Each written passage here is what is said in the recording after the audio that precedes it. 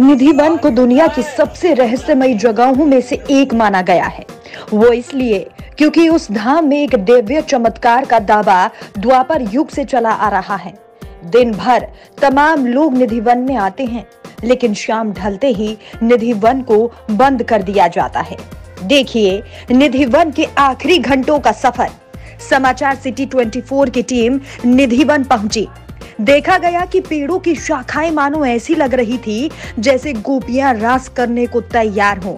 स्थानीय लोगों का मानना है कि यह वही स्थान है जब भगवान कृष्ण आज भी आते हैं और हर रात यहाँ आकर रास लीला करते हैं। निधि वन शब्द, दो शब्दों, निधि और वन से मिलकर बना है। निधि का अर्थ है खजाना और वन का अर्थ है जंगल। ये जगह घना और हरा जंगल है। जिसमें सैकड़ों पेड़ हैं। ये पेड़ अपने आप में काफ़ी अनोखे हैं, क्योंकि अच्छी जड़ों और शाखाओं के होने के बाद भी ये सभी पेड़ खोखले हैं।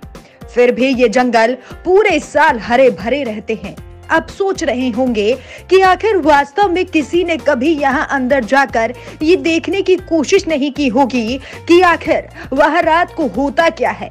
आपको बता दे कि बहुत से लोग ये कोशिश कर चुके हैं लेकिन स्थानीय लोगों की माने तो जो भी रात को रासलीला देखने की कोशिश करता है वो या तो अपना मानसिक संतुलन खो बैठता है। जो भी भक्त जंगल के अंदर है बाहर निकल जाए मंदिर बंद हो चुका है आखिरकार हमारी मुलाकात मंदिर के पुजारी से हुई। उन्होंने क्या कहा?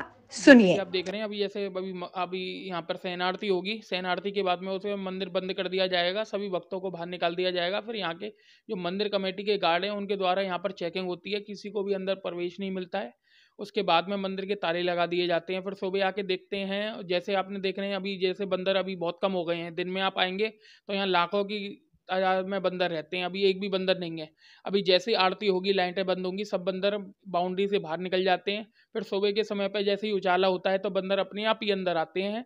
और जब मंगला आरती होती है, उसमें लाखों आदमियों की भीड़ होती है सुबह सुबह दर्शन करने के लिए। ठाकुर जी का जो लड्डू पान दातुन होता है, जो ठाकुर जी लड्डू खाते हैं, पान चबाते हैं और वो जो दातुन जो होती है, वो करी हुई मिलती है। उसके दर्शन के लिए लोग यहाँ पर दर्शन करने के लिए आते हैं तो उन्हीं के सामने वो सात ताले खोले जाते हैं। फिर उसके सामने उसके साथ ही साथ मंगला आरती होती है यहाँ पर, फिर उसके बाद में यहाँ पर नॉर्मल दर्शन होते हैं पूरे दिन। बहुत सारे मकान हैं, आप देखोगे आसपास में बहुत सारे मकान हैं। खिड़कियाँ सवाओं में हैं, लेकिन कोई खोलने का प्रयास नहीं करता है।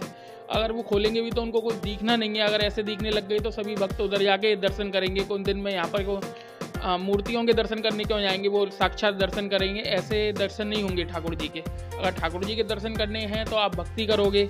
अपने घर में बैठ के भी भक्ति करोगे तो आपको निधवन में जो रास होता है उसके दर्शन होते हैं। कुछ लोगों का ये भी कहना है कि रात के समय जंगल के पेड़ गोपियों के रूप में बदल जाते हैं। जबकि कुछ लोगों का मानना है कि पेड़ भगवान कृष्ण की सोलह हज़ार पत्नियाँ हैं जो हर रात जीवित हो जाती हैं।